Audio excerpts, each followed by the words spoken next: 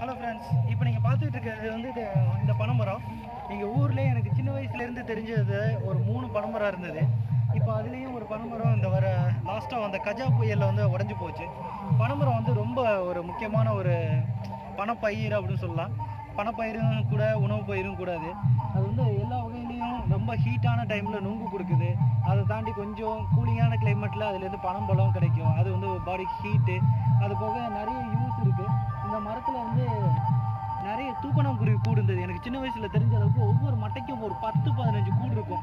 அந்த அளவுக்கு தூக்கணாங்குருவி கூடு அவ்வளோ தொங்கிட்டு இருக்கும். இப்போ தான் அந்த தேன் சிட்டு தூக்கணாங்குருவி இதெல்லாம் பார்க்குறது ரொம்ப ரேர் ஆச்சு. இதுக்கு எல்லாமே ரீசன் வந்து நம்ம அதிகமாக நெட்ஒர்க்கை வந்து அதிகமாக யூஸ் பண்ணும்போது ரேடியேஷனால் அந்த பேர்ட்ஸ் எல்லாமே வந்து அஃபெக்ட் ஆகுது அப்படின்னு சொல்லியிருக்காங்க. அது போக வந்து இந்த பனைமரம் ரொம்ப முக்கியமான ஒரு விஷயம் அப்படின்னு சொல்லிட்டு. ஏன்னா நீர் தேக்கம் வந்து இது கொஞ்சம் வாட்டரை வந்து அப்சர்வ் பண்ணி வச்சுக்கிற கெப்பாசிட்டி இருக்குது அதனால தான் கோடை காலத்தில் கூட இதில் ஜில்லுன்னு அதுக்கப்புறம் என்னது ரொம்ப வாட்டரியாக ஃப்ளஷியாக இருக்க ஒரு ஃப்ரூட் கிடைக்குது. நொங்கு சாப்பிட்றோம் இல்லையா? அது இது வந்து ரொம்ப ட்ரை சீசனில் அதான் ஏப்ரல் மேல தான் அதோட அந்த ஃப்ரூட்டிங் சீசன் வரும். ஸோ அந்த மாதிரி வாட்டர் சோர்ஸை வந்து கொஞ்சம் அப்சர்வ் பண்ணி வச்சுக்கிற கெப்பாசிட்டி இந்த மரத்துக்கு இருக்குது ஸோ நம்ம அதிகபட்சமாக பனைமரம் வந்து வளர்க்குறதுக்கு கஷ்டப்படவோ மெயின்டைன் பண்ணவோ கஷ்டப்பட தேவையில்ல. ரொம்ப ஈஸியாக வளர்க்கலாம்.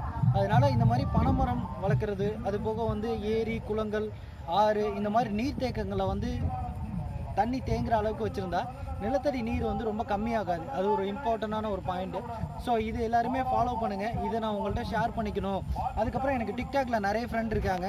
தேனியின் நண்பன் அதுக்கப்புறம் மதுரைக்காரன் இப்படின்னு சொல்லிட்டு டிக்டாக்ல மேக்ஸிமம் நான் வந்து தேனியோட எல்லாத்தையும் ஃபாலோ பண்ணிடுவேன். ஏன் அப்படின்னா ஒரு மெயின் ரீசன் அப்படின்னு சொன்னால் அவங்க போடுற அந்த வீடியோவில் இருக்க பேக்ரவுண்டு எனக்கு ரொம்ப பிடிக்கும்.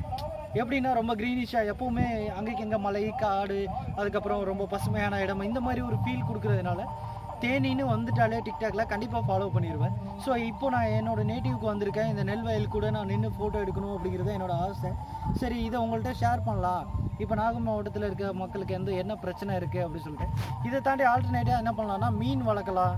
இந்த மாதிரி ஏதாவது சின்ன சின்ன விவசாய தொழில்நுட்பங்களை நம்ம தெரிஞ்சுக்கிட்டா ரொம்ப யூஸ்ஃபுல்லாக இருக்கும்.